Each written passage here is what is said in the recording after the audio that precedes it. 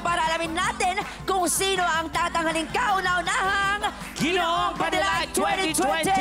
And of course, ang ating winner ay tatanggap ng sash Aha. at corona at gift certificate worth 1 million pesos. Wow naman! 1 million pesos! Naku, kung ayaw pong maniwala ha, babasahin ko ang nakasulat sa ating GC. Let's um, read this carefully, guys. Ginoong Padilat 2020, this certificate entitles the bearer to 1 million pesos worth of liquid seasoning and monosodium glutamate or betsin para mas sumarap ka pa. Napaka-supportive natin ha. The liquid seasoning and betsin must be consumed within a week. Okay? Otherwise, this certificate will be forfeited and given to the first and second runner-up. Paghahatian nila per UTI NCR permit number 143 series. Yes, UTI representative. Ayan na. Series of 2020. Oh, Wow, detalyado. And of course, patulong din natin sa pamamahagi ng prizes ang ating Memax Squad! Squad! Grabe. And of course, at this point, we would like to thank the accounting firm of Dayon and Teodoro for tabulating the results. Andiyan ba yung mga representatives? Pakitin natin. Talagang kapita-pita lang yan. Kasi usually nag-hide din sila, di ba? Para makita talaga. Okay. Siyempre, ang una natin tatawagin ay ang ating second runner-up. Okay? My friend Tekla, go ahead. Okay, ang ating second runner-up, gardening.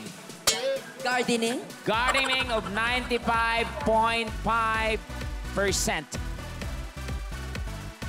second runner-up is... Mima Squad, sino gusto nyo? Kami nag-judge. Kami nag-judge. Sino nag-judge? Kayo ba nag-judge? O, Tex, sino gusto mo? Charot. Kayo, sino gusto nyo? Ating virtual audience, sino gusto nyo? Sino? Ano? Ayun! Our second runner-up is... G?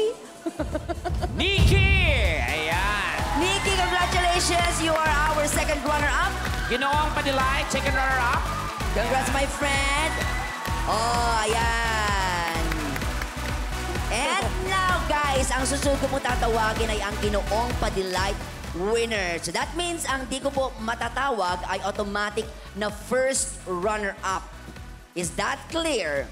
Yeah. Clear. And let me tell you, very clear, let me tell you the importance of the first runner-up. Yes, ayan po ang gagawin. If, if for any reason, the winner fails to fulfill his duties, the first runner-up will take over. Okay, with an average score of 97%, As. our Ginoong Padilat 2020 is none other than Ginoo ah. None other than Mr. Dave Burnea! Congratulations!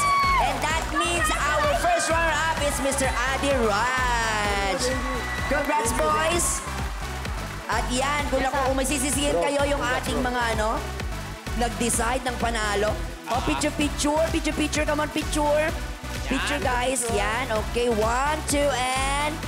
Yan, okay. Let's do this. One, two, three, and jump shot. One, two, three. Okay, yan. Yes, And of yan. course, this, uh, Bubay, ah, ano naman ang message, ano naman masasabi ng ating... Yes, our winner. Let's Our start winner. with our winner. Ah, maraming salamat sa Paginoong Delight at sa lahat ng bumuo nito. Kung hindi dahil sa inyo guys, hindi mangyayari to and sobrang grateful Shucks. ako. Maraming maraming salamat po sa inyong lahat. Lalo Ngayon na ko sa lang Mema nakita si Squad, Tekla, teary-eyed. Bubay, maraming maraming salamat. Yes. Yes, how about our first runner-up, Adi?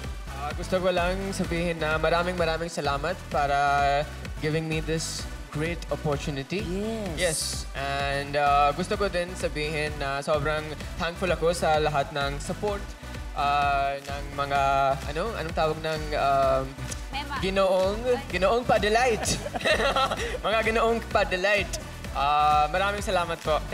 Yes, and of course, our second runner-up, Nikki. Yes, syempre, thank you sa inyong lahat, sa mga judges, sa mga sumuporta sa akin. And uh, syempre, babalik tayo para sa iba pang uh, competition. Wow, you are very much congratulations. welcome. Career, no? Yes, Mema Squad, muli maraming maraming salamat sa inyo guys. At sa ating virtual audience, thank you very much ulit sa inyo. We love you. Muli, agyaman kami lang ulit nagitipata mga Ilocano kung mga maka makakaakyat kami dito Baguio sunon, di ba? Agyaman Yes. kami apo, mapantay yung Baguio ah. Mag-celebrate tayo sa Baguio. Oo. Serious.